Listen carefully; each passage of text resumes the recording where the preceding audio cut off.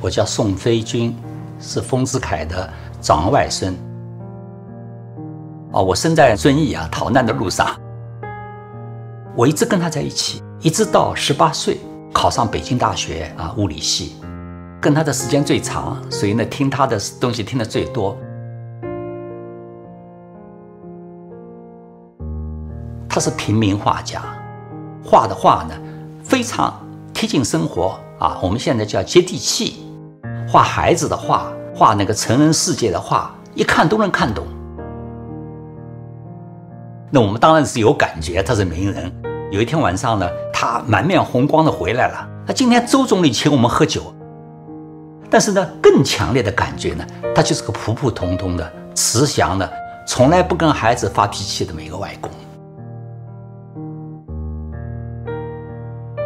我们家呢有个家学的传统嘛，叫做克儿。全家所有的孩子都要经过，他们的抗战路上就有了。学诗词，爱学外语。他说：“这个一个民族的这个精华呢，在他的诗和文学原文里头了。”这个是七学生邀我的那个日子，六月一号。我大概从小学四五年级，我每个礼拜到外公那去背上一次的诗词。背完以后呢，好，好呢，得摸摸胡子。然后呢，教新的新课，一般是二十首到三十首，不会超过一小时，剩下时间都是玩了。他讲诗词的时候呢，一面画画啊，画示意图了，画中有诗，诗中有画，不是一个字一个字去讲，但是诗词后面的故事是讲的。他不是说让你为了去考试去拿分儿，他完全是为了提高你的兴趣，提高你的修养。外公还愿意带孩子去旅游，一次呢是他教我苏曼殊的一首诗：“春雨楼头吃芭蕉，何时归看浙江潮？”教完这个以后呢，他说全家去看潮去，就拿了假条去请假了。重点中学不让请事假，班主任一看呢，上面还有个丰子恺的签名，准假，作为一个特例准假，又有旅游又有画。读书的这种苦恼啊，就减掉了很多。我们大年三十必玩的一个游戏，这张呢图呢叫揽胜图哈，有六个人一块玩。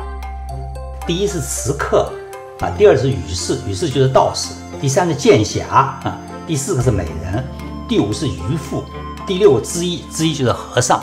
它的每一格呢都是有一个名胜古迹嘛，就把一些历史故事呢。和一些玩的东西呢都结合在一起，像这个地方桃花源，渔夫到这个地方拿一个；如果和食客两个人都到这个地方呢，就各拿两个。外公一般是不玩的，他就走来走去，看着大家玩，他高兴啊。一会儿他自己出去了，就买好多吃的回来，让大家吃了玩。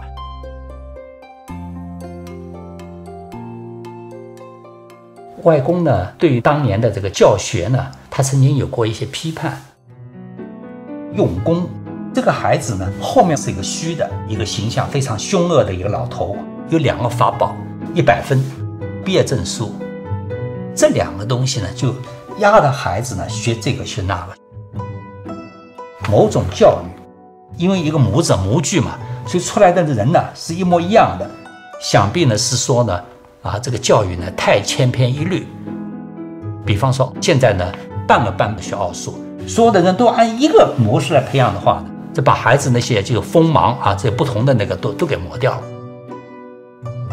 他都不问你考得好不好，从来也不问了。他实际上呢是在很细心在体察这个孩子有什么长处。小时候呢，我们家里人喜欢京剧，我就是尝试着去学拉胡琴。他就介绍我跟梅兰芳先生的金二胡琴师倪秋平先生呢学了多半年，这个基础打得非常好。我虽然跟我外公学诗词学画画，但是我物理非常喜欢。高一的时候呢，就做了一个开普勒望远镜。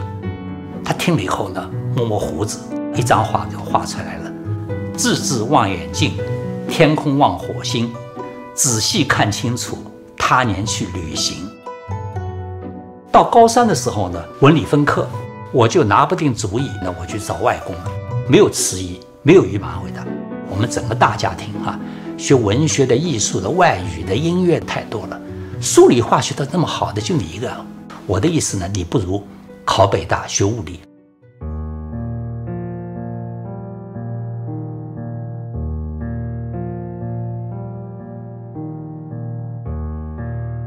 外公走了以后呢，他的书已经出了很多很多了，唯独克儿这个课题是没人讲。我有义务啊，我也有责任把这些故事都写出来。正好呢，现在国家呢有讲啊减负，那么希望呢把时间还给孩子。现在我们这个院子里区教一个孩子都不得啊，他没有时间啊。尊重孩子的成长规律。这个孩子才能真正培养出来。